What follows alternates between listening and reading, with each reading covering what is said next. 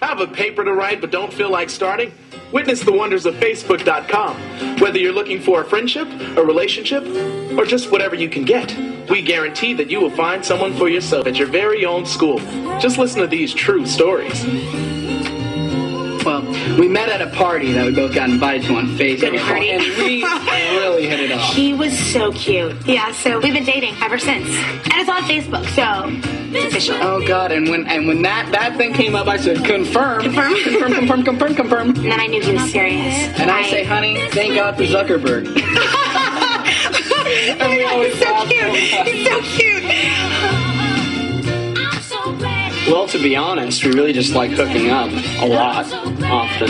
But commitment really isn't our thing. No, I just got out of a nasty relationship, so. And I'm bi-curious. Yeah, and we really don't know what to call it either. I mean, we're friends with benefits, just hookup buddies, or what do we really want to call it? But then Facebook gave us the label that our relationship needed. It's complicated.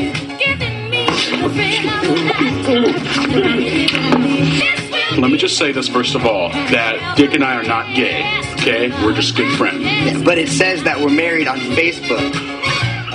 like we're gay, but, but we're not. You get it? it's ridiculous. No, it's a joke. I mean, I find women very attractive. Yeah, it was his idea. I can't even. I just think it is so funny that it says his we're idea. gay and it's not true. Not true it's at all. not true at all. It's just a joke. It's not like We're just friends. We're just two good friends. We're just two. I don't want to hide anymore. Angela and I have been Facebook friends for five months now. Yesterday was our anniversary, and I poked her twice. it was wild. I've never even met this guy, Walter, in real life. And he just keeps messaging me on Facebook, like poking me and sending wall postings. I don't I don't even know him. It, it's not cute at all. What the hell does it mean to poke someone anyway? Angela, do you hear it? I'm gonna keep poking. Just can you please make it stop? Please? It's really creepy. Thank you, Facebook. Thank you, Facebook.